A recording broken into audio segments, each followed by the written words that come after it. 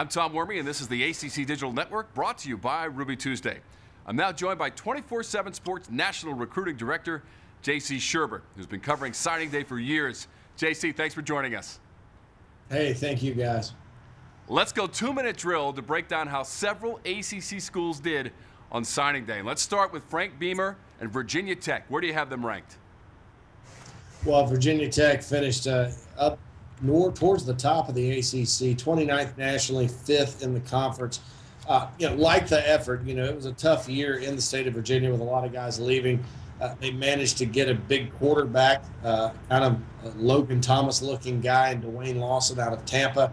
Uh, also, a pass rusher they needed in Trevon Hill uh, from Virginia Beach. So it, it, was a good class overall. Got to watch as the next great cornerback at Virginia Tech would be Mook Reynolds out of Greensboro, North Carolina, one of those big, taller, Hokie corners they like to uh, recruit and uh, that end up being stars.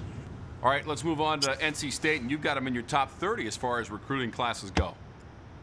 And honestly, this class could rank higher. I mean, this could be a legendary class that Wolfpack fans look back at and say this is when we started our ascension as a program. Uh, you look at the in-state talent that they signed, guys like Darian Roseboro, who had Michigan and everybody else wanting him defensive end. Okay, second year for Wake head coach Dave Clawson. Now, how's he doing with the recruiting class?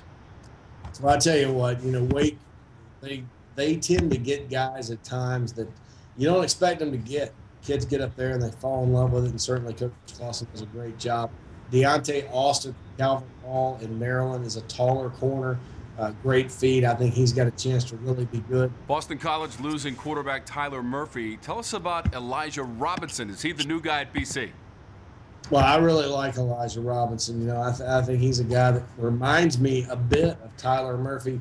You know, 6'2", 185 out of the state of New Jersey.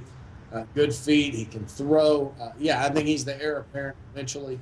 Uh, you never want to hang the starter tag on a first year true freshman, but I think he's a guy, skill set wise, I think he definitely step in and help BC win games just like Tyler Murphy did.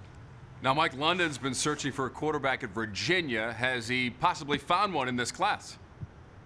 Well, you know, the search kind of uh, goes on a little bit with Virginia and their quarterback. They've recruited pretty well in nearly every position. Uh, the quarterback's been sort of a mystery at times.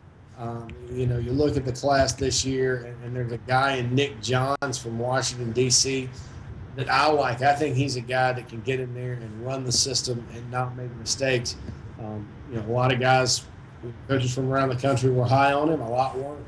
Uh, so it's a situation where we'll see, you know, just how good he can be. JC, finally, let's touch upon Syracuse. Um, does Scott Shafer have some players in his class that can make an immediate impact? Absolutely. You know, Syracuse is a team that's n- never really ranks all that high uh, in terms of uh, recruiting rankings. But you know, 24 guys in this class, and a lot, a lot of players that when you when I watched them on film, I like Dante Strickland uh, from South Brunswick High School in New Jersey is a versatile player. The only question is, is he a receiver? Is he a corner? Uh, he'll be able to do something that I think uh, will make Syracuse fans proud on some side of. JC, thank you so much for all the great information on all the teams in the ACC. No problem. Okay, I'm Tom Werme, and you're watching National Signing Day coverage on the ACC Digital Network, brought to you by Ruby Tuesday.